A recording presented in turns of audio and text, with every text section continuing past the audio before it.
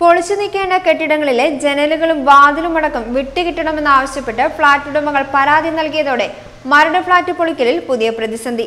ഉടമകളുടെ ആവശ്യം അംഗീകരിക്കാനാകില്ലെന്ന് പൊളിക്കൽ ചുമതലയുള്ള കമ്പനികൾ നിലപാടെടുത്തു. പരാതികൾ പരിശോധിക്കാൻ ജസ്റ്റിസ് കെ. ബാലകൃഷ്ണൻ നായർ കമ്മിറ്റിയുടെ പ്രത്യേക സിറ്റിംഗ് ഇന്ന് നടക്കും. മരടിൽ ഫ്ളാറ്റുകൾ പൊളിച്ചു നീക്കേണ്ട പാർപ്പിട സമുച്ചയങ്ങളിലെ ജനലുകളും വാതിലും സാനിറ്ററി ഉപകരണങ്ങളും അടക്കം പൊളിച്ചു നീക്കുന്ന ജോലികളാണ് ഇപ്പോൾ പുരോഗമിക്കുന്നത്. പൊളിക്കൽ ചുമതലയേറ്റ എഡിഫേസ് വിജയ സ്റ്റീൽ കമ്പനികളാണ് ഇതിന് നേതൃത്വം കൊടുക്കുന്നത്. കരാർ പ്രകാരം ഇത്തരം സാധനങ്ങളുടെ ഉടമസ്ഥാവകാശം ഇനി പൊളിക്കൽ ചുമതലയുള്ള കമ്പനികൾക്കാണ്. മുന്നൂറ്റി ഇരുപത്തിയഞ്ച് ഫ്ളാറ്റുകളിലായി ലക്ഷങ്ങൾ വിലമതിക്കുന്ന സാധനങ്ങളാണ് ഇങ്ങനെ നീക്കി തുടങ്ങിയിട്ടുള്ളത്.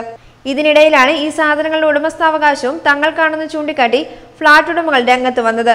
നാല് പാർപ്പിട സമുച്ചയത്തിലെയും അസോസിയേഷനുകളും വ്യക്തികളുമടക്കം നിരവധി പേർ പരാതിയുമായി ജസ്റ്റിസ് കെ ബാലകൃഷ്ണൻ നായർ കമ്മിറ്റിയെ സമീപിച്ചിട്ടുണ്ട്.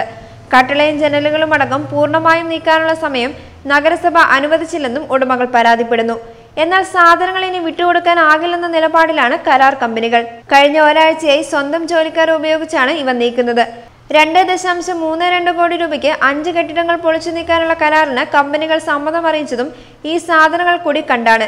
ഇനി ഇവയെല്ലാം ഉടമകൾക്ക് കൈമാറണമെന്ന് ആവശ്യപ്പെടുന്നത് കരാറിന്റെ ലംഘനമാകുമെന്നും കമ്പനികൾ പറയുന്നു.